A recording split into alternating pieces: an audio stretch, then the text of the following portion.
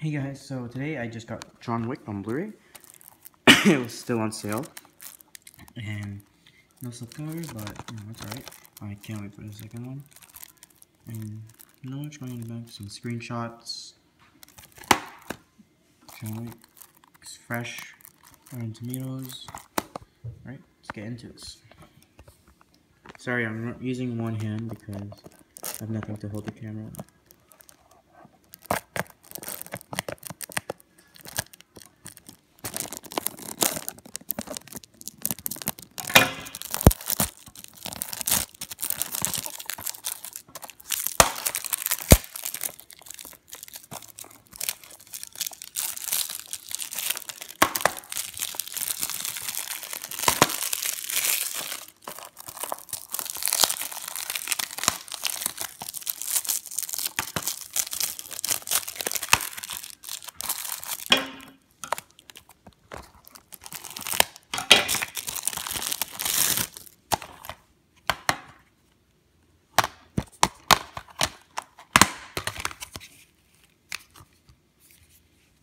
Alright, there it is.